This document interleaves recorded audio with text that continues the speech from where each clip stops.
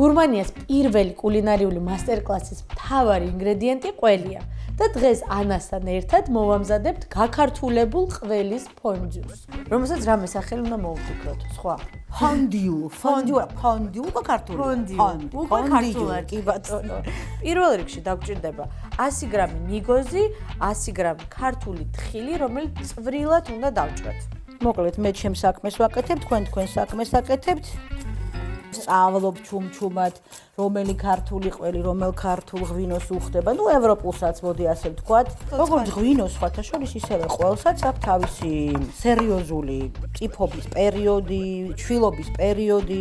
მე უკვე როგორ დააბერებ, როგორ შეასუნელებ რა ტემპერატურაზე. მოდი ახლა თეთრით დავიწყოთ, იმიტომ რომ მე თეთრი ღვინისთვის შევარჩიე პირველი ასე ვთქვათ ეტაპი ჩვენი სადეგუსტაციო ყველისა. ესე იგი თან დავთრებით და თვალი კერძი გადასარევი იქნება. რომელი ყველი მივაყოლო? ხაწითას. ზოგადად თეთრი ღვინო ცოტა ესეთი უპრეტენზიო განსხვავებული წითელი ღვინოებისგან. ამიტომ ნებისმიერი ყველი ჩვილის გარდა, ნებისმიერი პრეტენზიული ყველიც კი მოუხდება და ეხლა მე ყველაზე პრეტენზიულ ყველს მოგცემთ თქვენ, აი შესუნელებულს თავისი ქერქი. შესუნელებია აქ. მანდარის ყვითელი ყვავილი, ქონდარი, ცოტა წიწაკა. ისე რბილად და კარგად გემოვნებით არის დაბალანსებული, რომ არც ერთი გემო არ ყვირის და არ გაწუხებს. ყველა სიტყვა დავიმახსოვრე ყელს ფესტივალზე სოფლის მეურნეობის სამინისტრომ და ჩვენმა გილდიამ გამოაცხადა, რომ ქართული ყველის წელია 2018 წელი. ფოტოშოპში ეს ექსკლუზივი გამოგვივიდა ხა ჩვენ თქვენს გადაცემაში. პირველად ვამბობთ ასე საჯაროდ, ეს წელი იქნება დასაბამი ქართული ყველის ახალი სიცოცხლე. ყველის ახალი სიცოცხლე 2018 წელი. მეც ვაგრძელებ აქ ჩემ რეცეპტს. ეხლა დაუმატებ ნუშის ფქვილს, დაახლოებით 30 გრამი აქ მაქლიავის ჩირი, დაახლოებით 60 გრამი დამჭირდება არც კი. ამასაც ეს წრილად უნდა დაიჭრა? კი, კი, წრილად ვჭრით, იმიტომ რომ უნდა მივიღო ვიღოთ ერთიანი პასტელინივით მასა და მივცემთ სასურველ ფორმას. ამ ყველაფერს რა თქმა უნდა შეკრავს უკვე თაფლი. ნებისმიერ ჩირი, თაფლი და ნიგოზი, თხილი ძალიან უხდება. ყველას ცალ-ცალკეც და ერთადაც. დაუმატოთ ახლა უნდა ატმის ჩირი. ეს ეს დაახლოებით 25 გრამი წვრილად გავამტრიოთ, იმიტომ რომ თვითონ ყვე იფხნება. უბრალოდ განსაკუთრებულ არომატს მისცემს. ყველსაც მოუხდება. ღვინოსაც თაფლი იქნება ამ ყოველფრის შემაერთებელი. ეხლა დავუმატოთ 3 სუფრის კოვზი თაფლი, ანუ 25 გრამი ატმის ჭირი, დაახლოებით 60 გრამამდე შავი ქლიავის ჭირი, 100 გრამი ნიგოზი, 100 გრამი ქართული თხილი და 30 გრამი ნუშის ფქვილი. ბევრი თაფლი არ სჭირდება, ნელა-ნელა თითქოს აი ასველებს ეს თაფლი უკვე აი ამ თხილეუს, აი ნახეთ როგორ წებოვანი ხდება. თავარია რომ ზედმეტი თაფლი არ დაუმატოთ, რადგან მე უკვე ძალიან წევადი იქნება. ეხლა ეს ნელ-ნელა ხედავთ, აი უფრო და უფრო ეს რო შეკრა გუნდათ. ცომივით არის. ხო, დარჩება გუნდათ. დაგჭირდება ასევე წყალი, რომელიც დაგვეხმარება იმაში, რომ აი ესეთ ჭხირებზე დავსვათ ეს მასა. აი ამ ხელაზე დაახლოებით ნახევარზე ცოტათი მაკლები. აი ნახეთ, მივიღეთ აი ესეთი ფორმის. თან ყველი გამასინჯეთ. თან ეხა ისევ თეთრგვინოსთან გავსინჯოთ ეს ჩვეულებრივი სულგუნი. ამ სულგუნს დავადოთ ყველი კლასიკური, ასე ქვია ერთ ყოლს, რომელსაც ჩვენ არაფერს არ ვუკეთებთ, უბრალოდ კარგად ვაშრობთ. ევროპული ტექნოლოგიით ზადდება, ეს არ არის ქართული და ქვევით ჩვეულებრივი სულგუნი, როგორც სვანური მეთოდით სულგუნი. ოდნავ დადაძაბელებულია. ერთად ერთად. ორი ყველი ერთად დააგებნოთ, მე მიაყოლეთ ღვინო. კაი, მოხდება პატარა რევოლუცია მოხდება. ასე ვთქვათ. აუ, აი ეს არის გემოების ზეიმი. ეხლა დავასრულებ უკვე ნელა-ნელა ჩვენ რეცეპტს. თავარი ეხლა შევინახოთ 3-4 წუთი მაცივარში, იმისთვის რომ შეგრილდეს, კარგად დაჯდეს, მარტივად არ მოძრეს აი ეს გემრიელი მასა, რომელიც ჩვენ დავსვით ჭხირებზე. და იწება ჩემთვის ყველაზე საინტერესო და გემრიელი პროცესი. უნდა გავალღოთ რამოდენიმე სახის ყველი და მე აი ამ ჭხირებთან ერთად გემრიელად შევჭამოთ.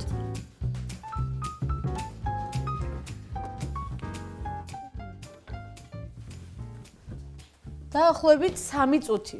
ეხლა უკვე შეგვიძლია დავიწყოთ ყველის გალღობა.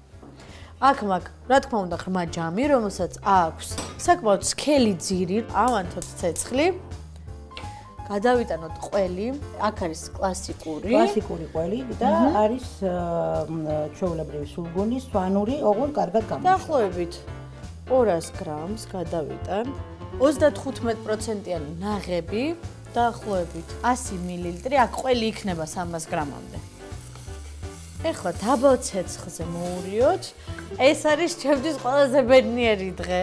უნდა მოვამზადო ყველი.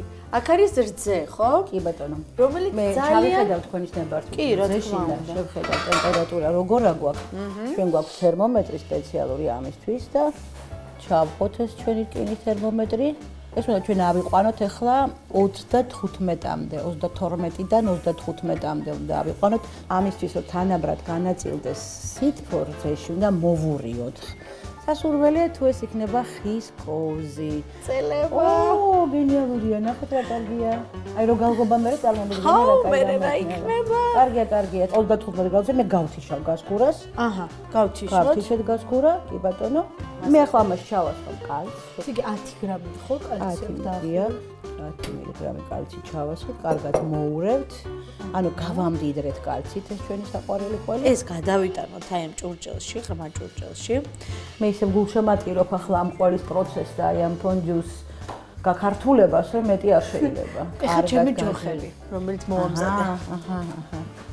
ორ ფრონტზე ვიბჯვით, რა ვქნათ, ხო? აქეთ ყველი არ გაგვექცეს, რძე არ გაგვექცეს. მე მთელი ყურადღება აქეთ შვიდებისკენ მაქვს. ნახეთ რა კარგი გამოვიდა. ეს უხლა უნდა დავალაგო თეფშზე. ძალიან გემორჩილებათ ინგრედიენტები თქვენ. რამე ჯადოქრობაა ესა? შეიძლება, არავინ არ იცის. თქვენ ხო ხართ ყველის ჯადოქარი? მე აქ ვარ ჯადოქარი. ეხა ჩვენ ვამატებთ კვეთს. კარგად მოურევთ და დავანებებთ თავს დაახლოებით 25 წუთი, ნუ თუ 40 არა, გააჩნია კვეთის სიძლიერეს. ცეცხლი უკვე გამორთულია, თავზე დავახურავთ. გავსინჯოთ ახლა ძალიან მაინტერესებს მე მოვიდა. და შენჯერობით ჩემთვის ინგრედიენტებს არ უღალატებდა. შესანიშნავია. მმ. მართლა ძალიან კარგი რამეა. ერთი ღვინო და მე ყველას დავუმრუნდეთ. ფანტასტიკია.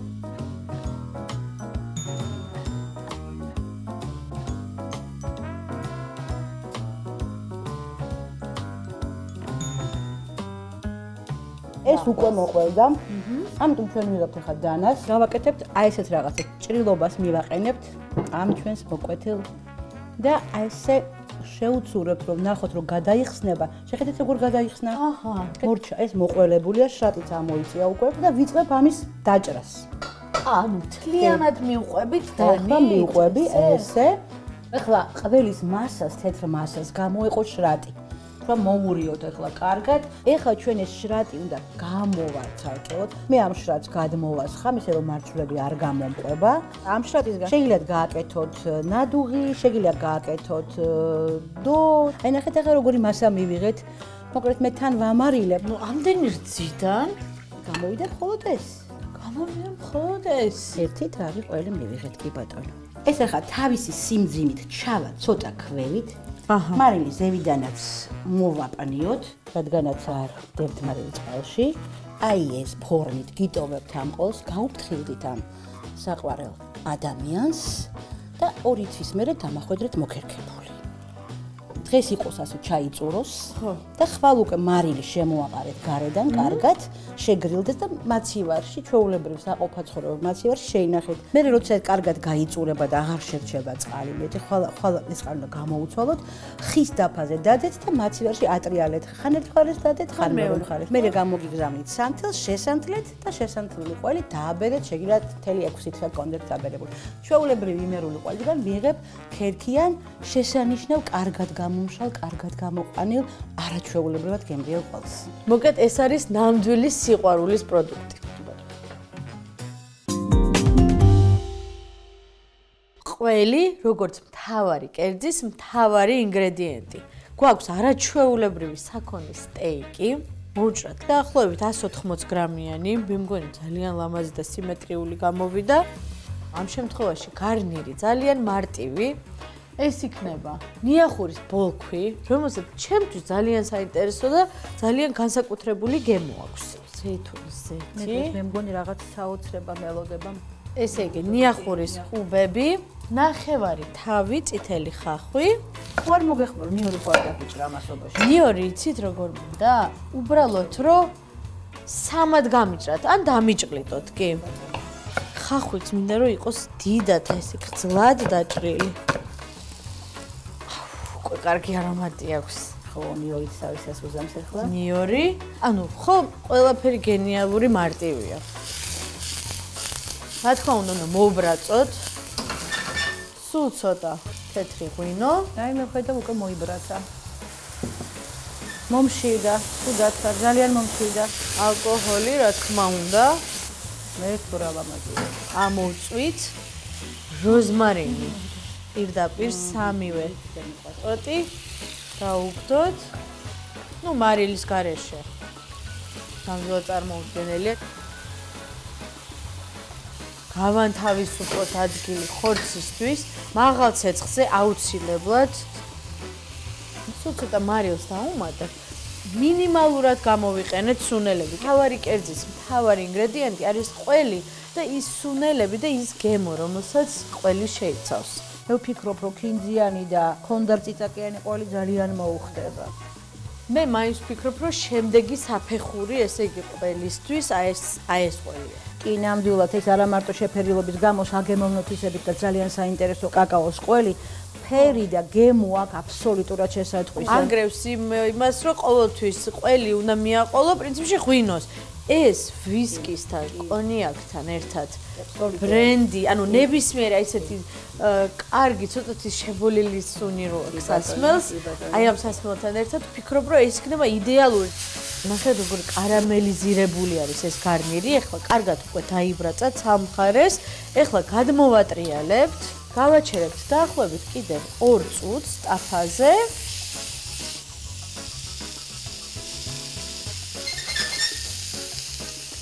ორ წუთში უკვე შეგვიძლია ნიახურის, როზმარინის, დუბუქი ხახვის ყველაფერი შესულია ხან ხორცში. ყველაფერი უკვე არის აი ამ ხორცში და ამ ყველაფერს უკვე დაასრულებს აი ეს გემოებით გაჯერებული ყველი, რომელსაც ჩვენ ზემოდან დავახერხავთ შემდეგ.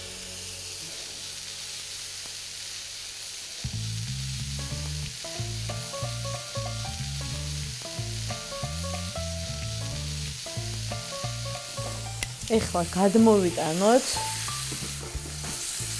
აი ესე ჯერ ცოტათი ძირზე გარნირი. ხორცი. ყველი დაახეხეთ უკვე თქვენ. ეს არის რომელი ყველი? ქინძიანი ყველი. თან ქინძსაც დაუმატებს, რომელიც თქვენ ახლა. დიდ ნაჭრებად დავახეხეთ ხო? ბატონო, მეორე ყველს მე დავახეხ. კი ბატონო. აუ როგორ ადნება აუ არომატი როგორ მინდა რომ თქვენს გძნობდეთ ამ არომატს. ეს ქინძის სურნელი ეს უფრო ხლად. კონდრის სურნელი. წიწაკით არის ეს ყვალის ფოტოში. აჰა ქონდრი და წიწაკით. და ბოლოს ექსპერიმენტი დავასრულოთ. კი რატომაც რა ინიახურს მოვაყაროთ კაკაოს ყველი. კაკაოს ცხიმზე და კაკაოთი მომზადებული ყველი რომელიც მე ვფიქრობ რომ ფერშიც ძალიან უი, ნახე როგორია ხორცის ფერი მისსა და ძაბალანსა. რა თქმა უნდა წითელი ღვინო მისია მიტაკტაკტა სული რომ ცუდად ვარ უკვე ესეც სწრაფად მინდა გავსინჯო. მე მოგიჭრით თქვენ უნდა გასინჯოთ პირველი ნაჭერი კი ბატონო. სად ვარ ამ სვერპლისთვის? ნახეთ როგორი ვარდისფერია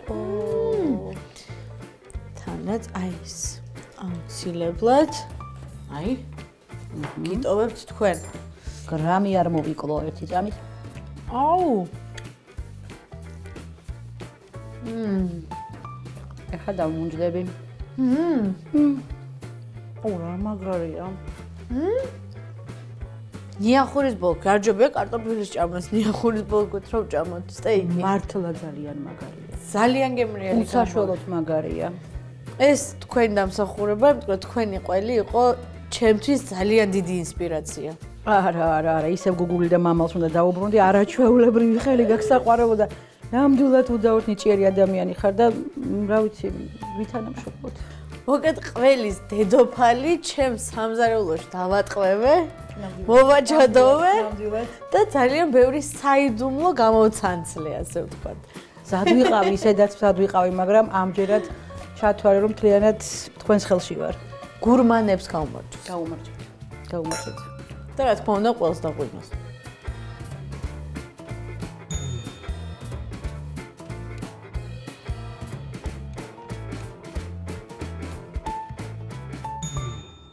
რამდენიმე წუთში ნახავთ ბახოს კულინარიულ თავგადასავლას რაჭაში, ერთ წუთში მომზადებულ შოკოლადის დესერტსა და კულინარიულ ამბავს გუდაურში.